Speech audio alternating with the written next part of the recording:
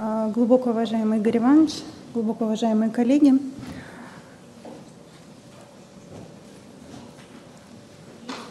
проблема рака желудка остается актуальной и по сей день, несмотря на достижения современной медицины. А, рак желудка а, остается, занимает лидирующие позиции в, в структуре заболеваемости и смертности населения. По показателям несвоевременной диагностики рак желудка занимает третье место. Э, существуют международные всем известные рекомендации НСН, э, ЭСМА, которые, в списке которых компьютерная томография при раке желудка Э, э, занимает очень важную роль. Однако стандартизованного протокола для диагностики таких пациентов э, нет. Если мы откроем рекомендации РУСКО, то мы увидим, что компьютерную томографию вовсе можно заменить на УЗИ органов брюшной полости, забрюшенного пространства и таза, и рентгенографии грудной клетки в двух, в двух проекциях. Хотя, на наш взгляд, э, это считается недопустимым. А, в нашем институте э, мы придерживаемся япон... рекомендаций э, японских, японской ассоциации по изучению рака желудка. Однако и в японских рекомендациях также нет стандартизованного а, протокола подхода именно к диагностике при э, компьютерной томографической диагностике рака желудка. А, наши корейские а, коллеги провели масштабное рандомизированное исследование, где было включено почти 11 тысяч человек, в результате которого установлена корреляция от стадии, а, от ТНМ стадирования и выживаемости, как общей, так и безрецидивной. То есть глубина инвазии опухоли, N-статус и отдаленные метастазы напрямую влияют на выживаемость а, и на прогноз. А, на данном слайде представлена таблица стадирования рака желудка, всем известная, японские, э, японские рекомендации. В зависимости от стадирования э, по глубине инвазии и N-статуса. А, перед тем, как э, э, приступить к анализу непосредственно, непосредственно местного распространения опухоли желудка, хочется сказать несколько слов о необходимости оценки анатомии, сосудистой анатомии верхнего этажа брюшной полости. А, потому как все японские классификации э, привязаны именно непосредственно к артериальной э, анатомии. И анатомия целиако-мезентериального бассейна достаточно вариабельна. В эпоху развития малоинвазивных хирургических вмешательств это крайне важная информация для хирургов – а какой объем лимфодиссекции будет выполнен, э, с чем они могут столкнуться во время операции. А, многие проведенные исследования демонстрируют очень высокую а, чувствительность и прогностическую значимость по данным многих источников до 100% компьютерно-томографической ангиографии в оценке сосудистого строения, а следовательно и лимфатического. А, почему такие картинки? Вот э, в таком виде патоморфолог э, получает э, органокомплекс, удаленный во время операции.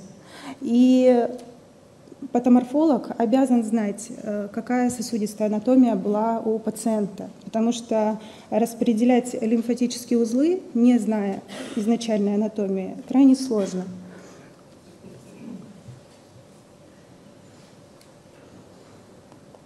И на самом деле, э, сколько мы ходили на вырезки, даже хирургам порой очень сложно э, указать, помочь патоморфологу в определении той или иной группы лимфатических узлов при оценке уже операционного материала. Всем известна классификация лимфатических узлов, которой пользуемся мы, достаточно удобная в практике. Однако, в отличие от э, азиатских коллег, э, здесь, так сказать, две школы, европейская и азиатская, да, где азиаты все-таки приверженцы именно качественных характеристик лимфатических узлов, а по, международным, э, по международным критериям необходимо изучать, проанализировать определенное количество лимфатических узлов для определения N-статуса. А, японские коллеги, в том числе, э, ну, вообще в целом, а, в основном азиат, а, специалисты из Азии проводят такие широкомасштабные исследования. Данное исследование было проведено в Японии и проанализировали и качественные, и количественные критерии при определении статуса и установили, что а, по сути данные получаются, получаются одинаковые. А, то есть они используют, японцы используют и количественную характеристику лимфатических узлов, изучая количество пораженных лимфоузлов, и параллельно используют и качественную характеристику. А, почему так важна именно качественная характеристика лимфатических узлов? А, потому что а, доказано, что, к примеру, лимфатические узлы 10 группы ворот селезенки являются, по сути, отдаленными метастазами при локализации опухоли в антральном отделе и в нижней трети желудка и является прогностически э, очень негативным прогнозом. А, эта таблица, она очень важна, и мы повседневно, э, ежедневно ей пользуемся, э, демонстрирует характер, порядок лимфогенного метастазирования лимфатических узлов, то есть первый, второй, третий этап метастазирования, либо отдаленные метастазы при различных локализациях опухоли. Э, по всему миру э, проводились и проводятся э, масштабные рандомизированные исследования о необходимости проведения неодевантной и адювантной химиотерапии. Конечно же, это улучшает прогноз. Значительно увеличивает медиану выживаемости –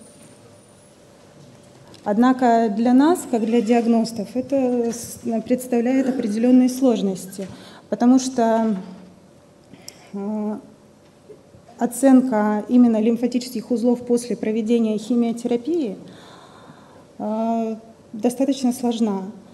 То есть на первичном этапе мы оцениваем лимфоузел и считаем его метастатическим.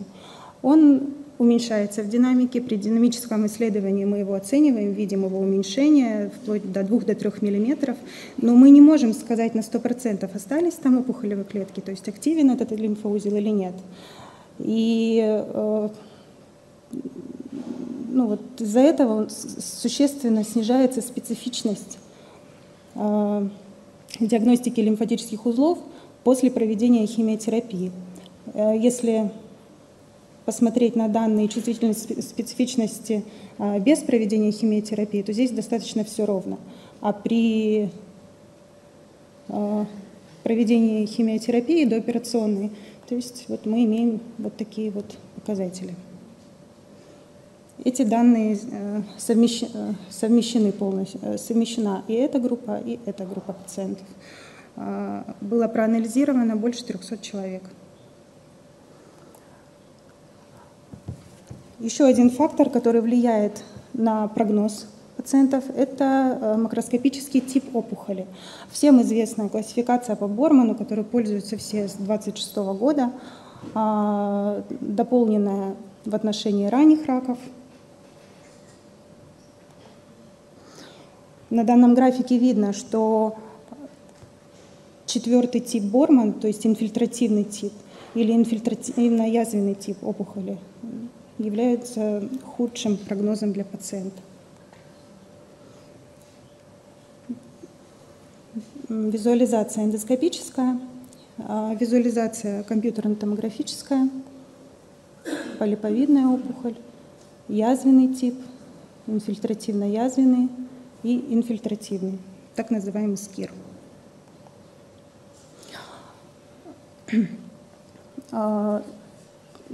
Э, хорошая э, а, схема деления на зоны представлена также в японских рекомендациях, которые также мы пользуемся. То есть мы при описании делим, э, условно делим желудок на несколько зон, верхнюю треть, среднюю треть и нижнюю треть. Обязательно указываем есть ли распространение на 12-перстную э, кишку и на пищевод. И в отношении стенок. Передняя стенка, задняя стенка, малая кривизна и большая кривизна. По данному принципу мы э, оцениваем локализацию. А, э, проанализировав вот 316 человек, у нас получилось, что большую часть пациентов составляет группа с поражением э, именно нижних, нижних отделов, э, нижней трети тела желудка и антральный отдел, в том числе и с распространением на 12-перстную кишку.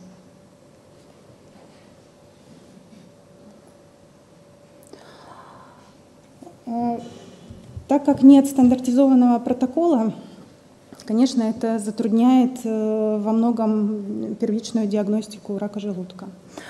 А, потому что существуют такие формы, а, например, как перстневидно-клеточный рак, которые при проведении эндоскопических э, методов исследования они могут быть э, не диагностированы, потому что, учитывая их определенный характер роста, интрамуральный. А, существует очень много работ э, выполнения компьютерной томографии э, с подготовкой желудка водой, контрастным препаратом. А, в нашем центре используется а, методика проведения компьютерной томографии больным раком желудка именно с контрастированием газом. Проводится стандартное сканирование с внутривенным болюсным э, введением контрастного препарата полтора миллилитра на килограмм массы тела пациента. Проводится э, исследование в артериальную и портальную фазу сканирования. Э, затем пациент, э, пациенту дается газообразующий порошок, запивается небольшим количеством воды и проводится ранее отсрочная фаза контрастирования на 4-5 минуте.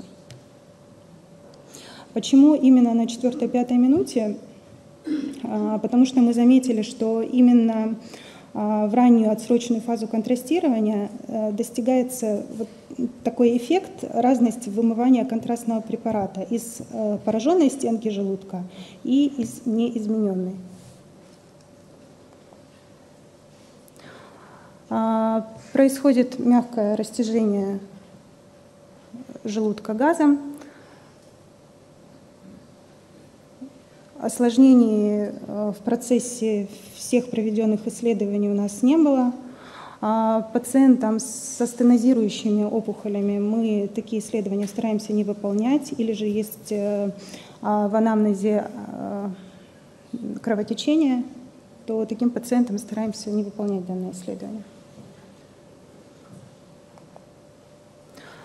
А, так выглядит желудок без признаков патологии при проведении компьютерно-томографической пневмогастрографии.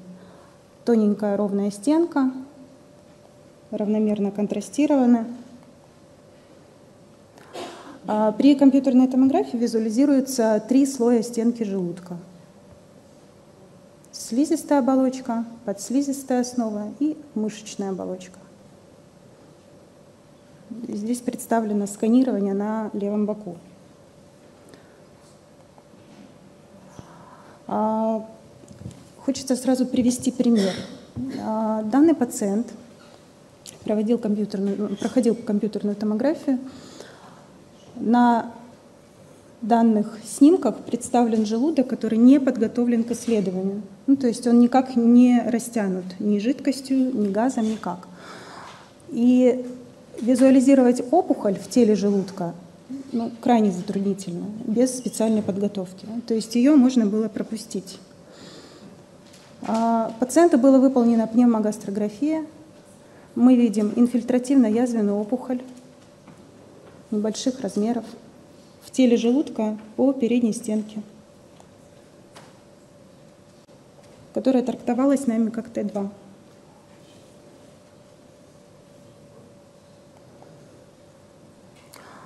Следующий пациент аналогичен, без, подготов... без специальной подготовки опухоль оценить э, практически невозможно.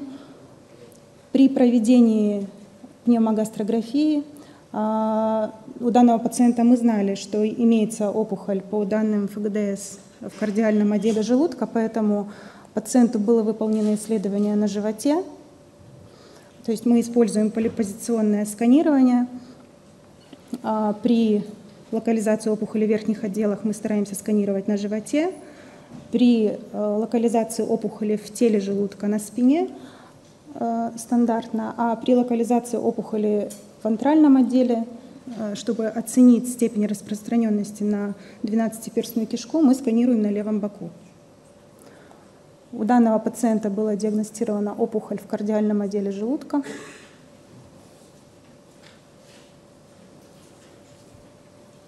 Которую без специальной подготовки на КТ, конечно, можно было не увидеть. Э, отдельная ситуация в отношении кардиозофагиального рака, конечно, требует э, дополнительных отдельных 40 минут. Э, обязательно нужно указывать степень распространенности на пищевод, потому что от этого зависит, конечно, тактика оперативного вмешательства. Мы используем классификацию Зиверта, всем известная классификация. Сканируем всех пациентов с кардиозофагиальным раком на животе. А распространение на 12-перстную кишку. Также очень э, необходимо указывать э, вероятность поражения 12-перстной кишки, потому что это также зависит, влияет на выбор тактики и объем оперативного вмешательства без специальной подготовки опухоль а, визуализируется, но достаточно сложно. При проведении сканирования на левом боку мы видим а, практически циркулярно растущую инфильтративную опухоль с распространением на пилорический канал и минимальным распространением на луковицу 12-перстной кишки на несколько миллиметров. Такие данные очень позволяют э, э, в дальнейшем избежать рецидивов в этой зоне. А, при хорошем раздувании, а, если имеется ранее опухоль желудка, мы используем режим а, виртуальной гастрографии – точно так же, как при проведении виртуальной колоноскопии. И очень хорошо визуализируются все мелкие опухоли. То есть э, у данного пациента достаточно был выражен рельеф слизистой оболочки. Вот она опухоль, но достаточно сложно дифференцируется. При проведении виртуальной гастрографии она визуализируется очень отчетливо, хорошо. Мы ее диагностировали как Т1А.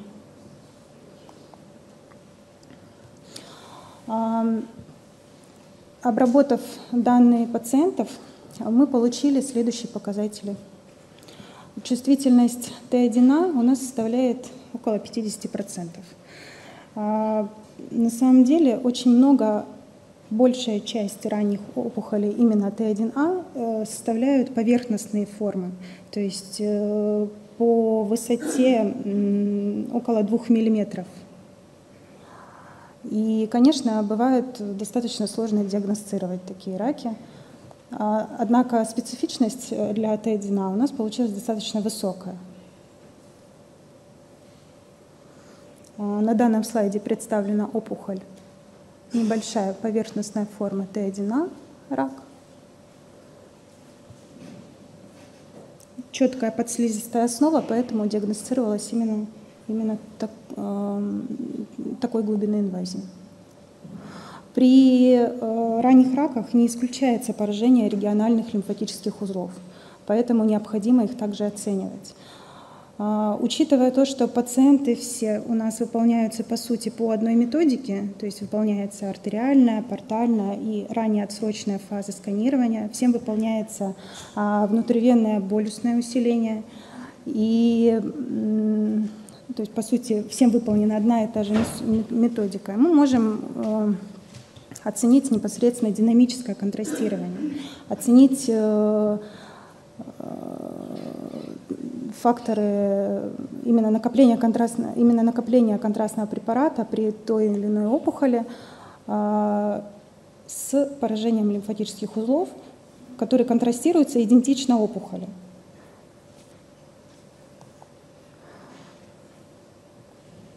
У данного пациента имеется опухоль с глубиной инвазии Т1Б. За счет утолщения и неодно, э, неравномерного утолщения и неоднородности подслизист, подслизистая основа. Данная опухоль классифицировалась как Т1Б. Следующие статистические данные мы получили для так, такого характера роста. Здесь представлен рак а, нижней трети тела желудка, передней стенки с глубиной инвазии Т1Б, неровный, нечеткий, деформированный подслизистый слой, поэтому выставляется стадия Т1Б. Еще один пример опухоли Т1Б. Локализация в кардиозофагиальном переходе при э, наличии грыжи пищеводного отверстия диафрагмы –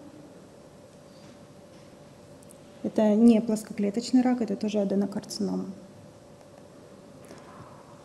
А, опухоли с глубиной инвазии Т1, Т2.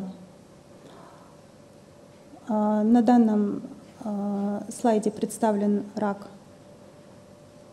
распространяющийся в пределах мышечного слоя стенки. И рядом интимно прилежит такой лимфатический узел – Э, накапливающие контрастные препараты идентично опухоли. Высокодифференцированная аденокарцинома с метастатическим поражением э, регионального лимфоузла третьей Б-группы. Э, чувствительность Т2 у нас составила 50%. А, здесь данные по чувствительной специфичности и точности а, представлены вне зависимости от проведения неодеватной химиотерапии, то есть э, данные здесь совмещены. А, пример поражения с глубиной инвазии также в пределах мышечного слоя. Опухоль локализуется э, пределах мышечного слоя стенки желудка, достаточно яркая, характерная для высокодифференцированной аденокарциномы.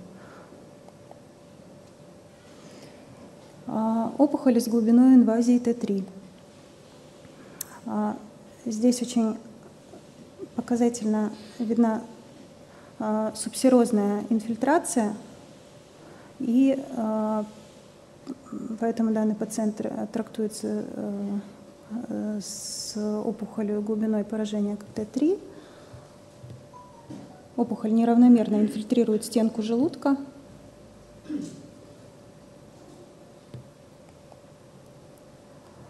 А в отношении Т3, конечно, здесь достаточно все ровно. Чувствительность э, специфичность, точность э, составляет около 85%.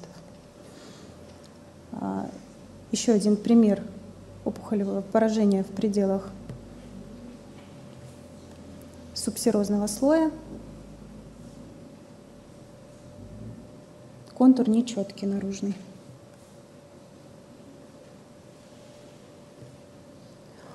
А, данный пример, а, у меня таких примеров на самом деле немного, поэтому вот я его показывала на конференции на белых ночах. А, хочется его продемонстрировать сейчас. Опухоль, инфильтративно-язвенная опухоль с глубиной инвазии Т3 и локализуется, рядышком локализуются два лимфатических узла. Достаточно маленьких размеров, около 6 миллиметров – и если мы оценим контрастирование вот этих лимфатических узлов, то мы увидим, ну, на первый взгляд кажется, что они практически одинаковые. Но на самом деле вот один лимфатический узел у нас э, в пределах 90 хаунсфилдов, а другой лимфатический узел в пределах 60, и опухоль сама э, около 60 хаунсфилдов плотность была ее. Э, данная патоморфологическая картинка представлена, то есть лимфатический узел неизмененный, гиперплазированный и пораженный. То есть э, обязательно нужно оценивать именно плотность лимфатических узлов э, по, в зависимости от э, характера плотности непосредственно опухоли. И всегда нужно обращать внимание на мелкие лимфатические узлы. По многим э, литературным данным, э, опять же, наших азиатских коллег, э, средний размер пораженного метастатического лимфатического узла составляет 4 мм. Мелкие лимфатические узлы в малом сальнике. Благодаря нашему порталу мы можем померить плотность и таких маленьких лимфатических узлов – мы видим их активное накопление, такое же а, и накопление, вымывание, как и, как и, опух, как и опухоли. Опухоль тела желудка с а, распространением за пределы серозной оболочки, с выраженной лимфоваскулярной инфильтрацией, с распространением на малый сальник – Еще один пример опухоли с глубиной инвазии Т4А с наличием региональных лимфатических узлов, метастатически пораженных. А распространение процесса на малый сальник. Ой, на большой сальник, простите. А, еще один пример опухоли Т4А. А, опять же, мелкий лимфатический узел – гистологически, морфологически подтвержденный. Опухоль локализовывалась в антральном отделе с поражением лимфоузла 4СБ группы. Э, лимфатические узлы больших размеров часто бывают просто гиперплазированы. Вот этот лимфатический узел группы 12П мы их практически всегда видим. И вот из этих 316 16 проанализированных пациентов у нас было всего два случая поражения а, лимфатического э, узла этой группы. И хочется сделать акцент на этом, что этот лимфо, лимфатический узел достаточно часто мы видим гиперплазированный. То есть как здесь вот, практически 4 сантиметра лимфатический узел просто с, с выраженной такой жировой дегенерации, но без метастаза. А, опухоли с глубиной инвазии Т4Б. А, здесь представлена кардиозофагиальная опухоль с инвазией в поджелудочную железу. А, у нас достаточно немного было таких пациентов, чтобы оценить э, чувствительность, э, специфичность. А, однако по данным литературы данные колеблются от 70 до 100% в зависимости от авторов. А, полипозиционное сканирование очень-очень помогает при подозрении на инвазию в какой-либо орган. Часто мы видим смещение анатомических структур при перемещении э, положения пациента и э, делаем правильные выводы. А, хочется представить клинический случай. А, у данной пациентки а, распространение, ну, собственно говоря, процесса, узнать ваше мнение – а, отделы, которые поражены, и э, что это за процесс.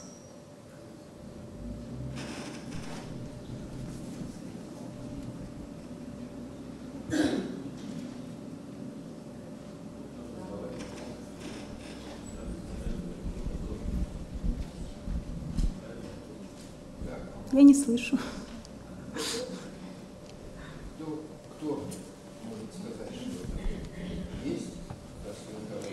хочет... Э, давайте я еще представлю здесь э, одно видео. Это эндоскопическая картина со стороны слизистой стенки. А, причем были выполнены неоднократные биопсии. Здесь э, эндоскописты не вынесли никакой вердикт. А можно следующий, следующий видео? А, данному пациенту неоднократно выполнялась а, биопсия, также ничего не было получено.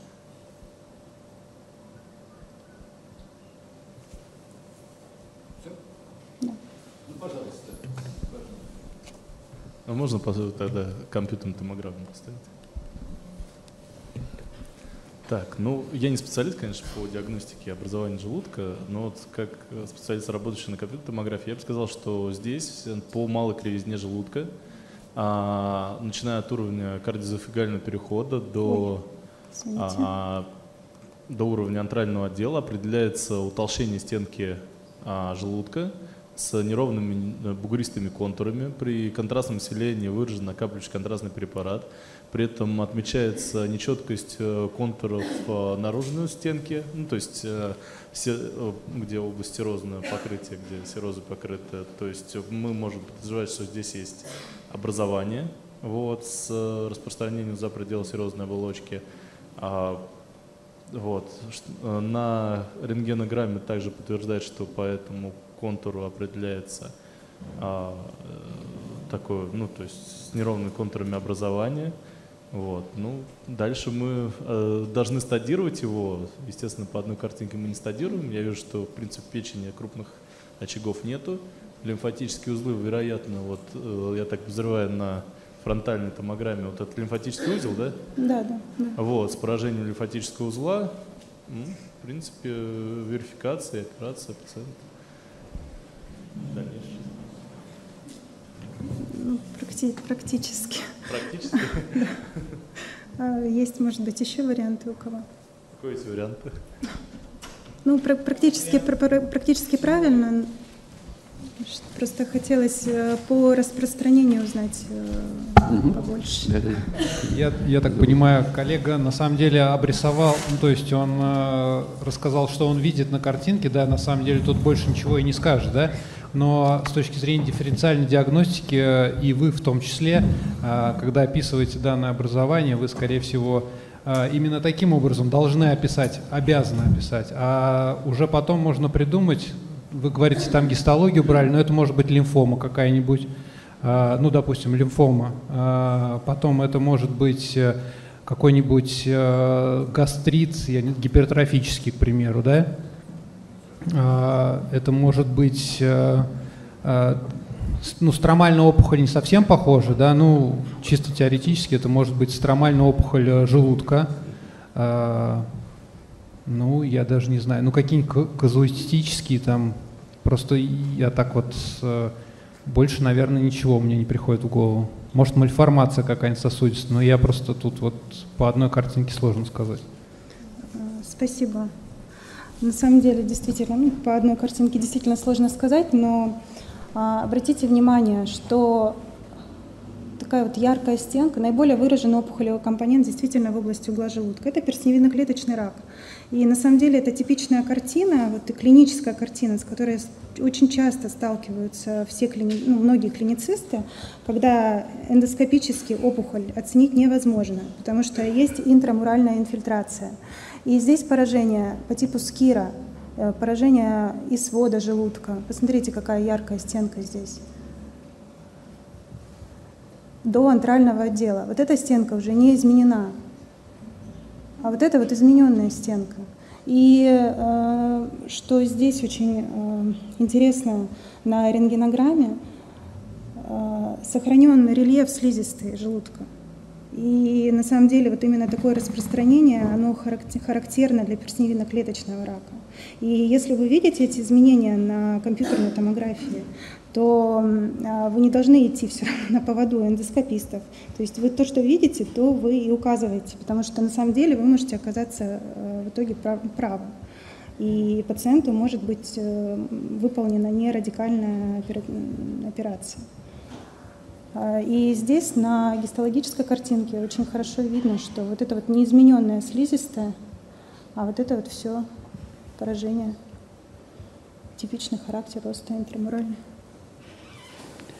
Спасибо. Так, по мнению вот э, выступавших здесь, как вам кажется, компьютерная томография дала больше, чем вот э, рентгенограмма, которая проведена здесь? Можно было по рентгенограмме поставить тоже, э, что и по компьютерной томографии, ну, в самом желудке, не считая лимфатический узел? Кто у нас первый выступал? Да, пожалуйста.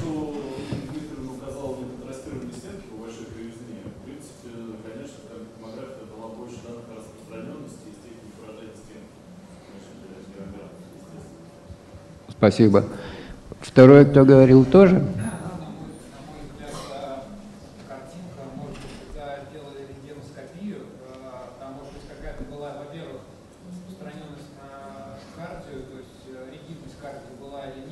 Угу. Функционально, то есть если, если там скир, то там, ну, грубо говоря, там вообще регибной стенки будет выражена, допустим, да. да? И по большой кривизне, если функционально оценивать, там тоже уже сокращается в норме, а там может быть регибность, опять же. Ну, то есть тут вот момент более позиционного рентгеноскопического исследования тоже имеет значение. Конечно. Конечно. Понятно, что если это мы делаем рентгенологическое исследование, то важна, конечно, динамика, тут посмотреть, как сокращение стенок, эластичность и так далее. Но, по крайней мере, по, по компьютерной томографии можно сказать о степени распространения на стенку желудка, что имеет значение для хирургов. Есть еще? Да, конечно. Инна Дмитриевна, скажите, пожалуйста, имеете ли вы опыт направления таких больных на эндоскопические ультразвуковые исследования? И какое ваше мнение по поводу взаимодействия вот специалистами, со специалистами этого профиля? На самом деле у нас э, достаточно распространена вот эта вот взаимосвязь между различными специалистами различных профилей. А, у нас еженедельно проходят мультидисциплинарные комиссии в нашем институте, и мы очень тесно взаимодействуем. То есть если мы видим хоть какое-то подозрение на что-то или что-то не укладывается, то есть мы видим а, отсутствие данных э, гистологии, но при этом мы видим эти изменения, естественно, мы отправляем опять на ФГДС, отправляем на эндоузи, а, может быть, дополнить исследование МРТ, у нас были такие пациенты, которые прооперированы без гистологической верификации, у которых был а, подтвержден а, изначально выставлен перстневидно-клеточный рак по данным КТ и был подтвержден уже по изучению операционного материала. То есть, э, иными словами, вы э, считаете вполне целесообразно потратить сутки, двое, там, трое Э, может быть, неделю на до обследования для принятия решения, правильно? Для, э, конечно, конечно. Спасибо. Да, пожалуйста. Евгений Владимирович. Скажите, пожалуйста, что вы имеете в виду под периневральной инфильтрацией? И нет ли у вас иллюстрации на эту тему? К сожалению, иллюстрации здесь нет. А, а, данной презентации. А, периневральная инфильтрация на данный момент у нас э, активно изучается, то есть сравниваются, анализируются данные компьютерной томографии напрямую с патоморфологическими э, заключениями. А, конкретных э, рентгенологических признаков в литературе еще не описано. У нас сейчас активно ведется работа на эту тему. И в ближайшее время мы эти признаки э, предоставим. Еще есть вопросы? Да, пожалуйста. Спасибо большое за интереснейший доклад. А можно вас попросить подробно рассказать о подготовке пациентов и о тех э, препаратах и в каких дозах вы их применяете, и, может быть, какие-то рекомендации да, для этой методики?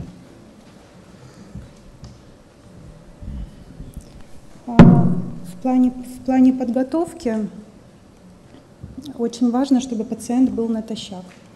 То есть желательно, чтобы э, проводить исследования с утра, чтобы пациент э, не находился в голодном состоянии целый день.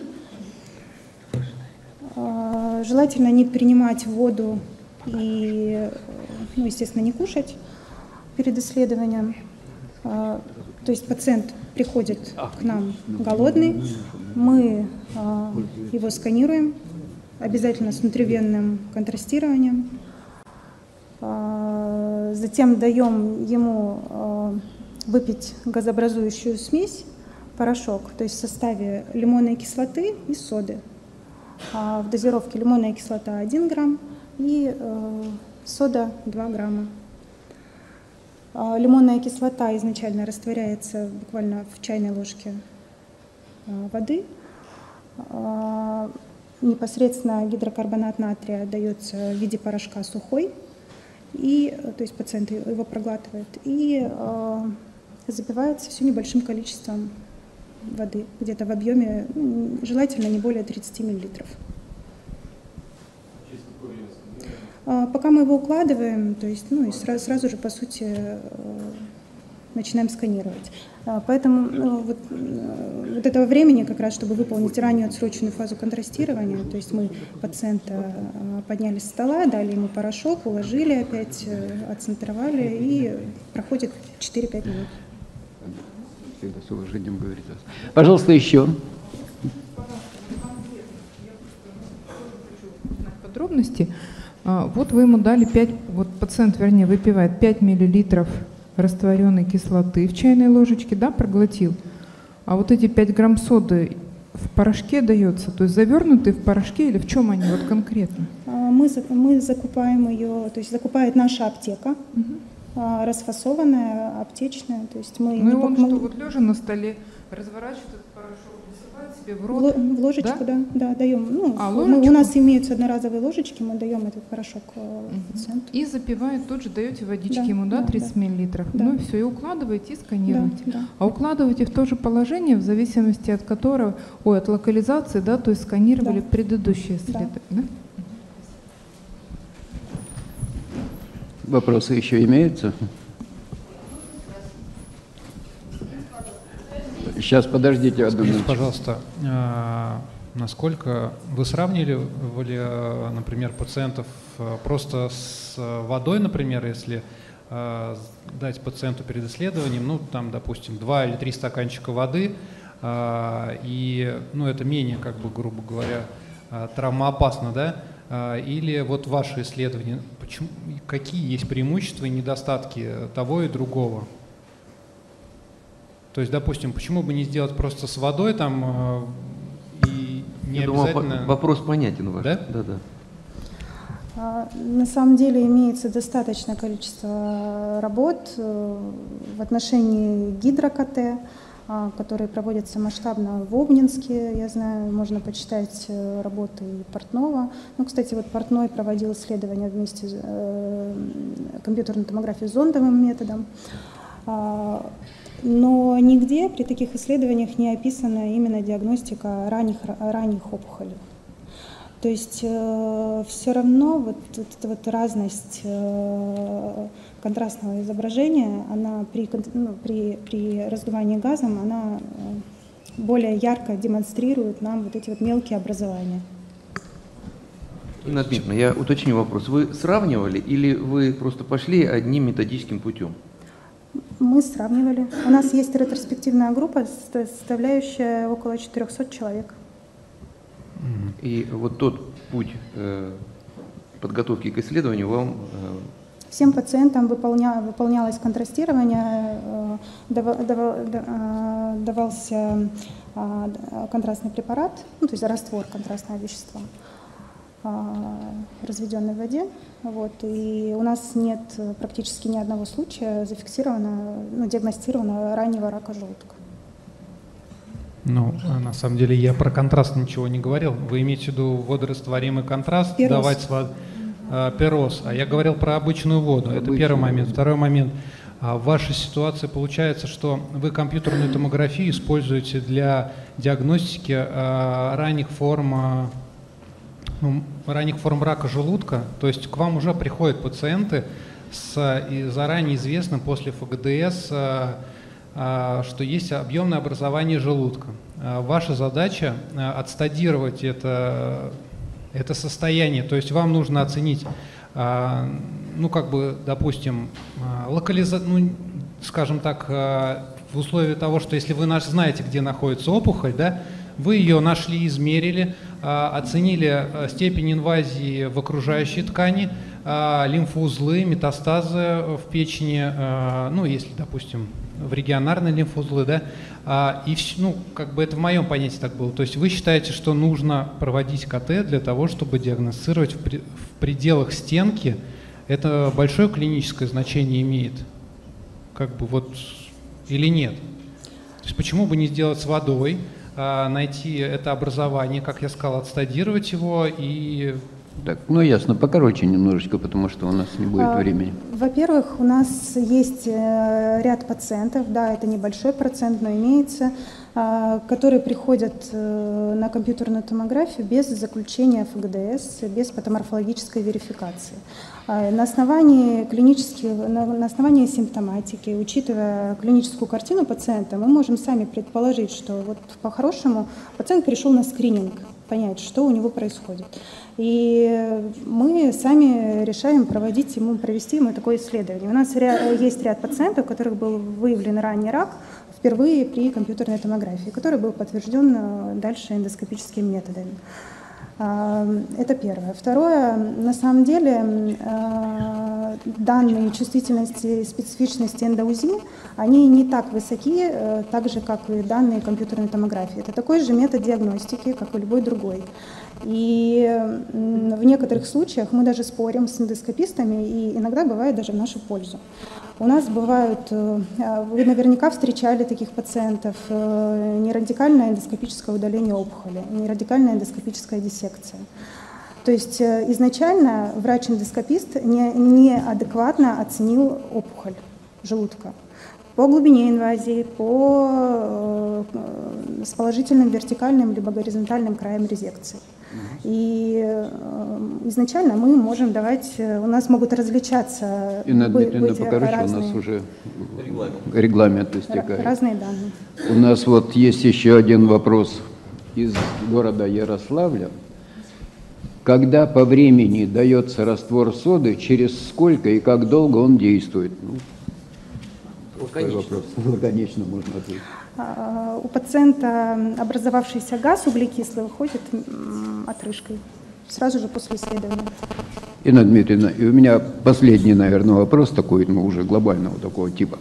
Э, скажите, пожалуйста, у вас уже очень много наблюдений, да, у вас большой же опыт. Насколько он востребован нашими клиницистами? Ну, прежде всего, хирургами, а также, может быть, и химиотерапевтами. Именно вот э, проведение компьютерной томографии, когда имеется и эндоскопия у нас, и сона, и, ну и так далее, и рентгенологическое исследование. Да, Игорь Иванович, у нас, э, ну, как вы знаете, у нас еженедельно проходят э, мультидисциплинарные комиссии, а, время которых собираются специалисты э, из различных да. профилей, и, естественно, они уже не видят вот это вот обсуждение пациента без данных компьютерной томографии. То есть для них это достаточно наглядно, достаточно понятно, когда это все продемонстрировано на картинке.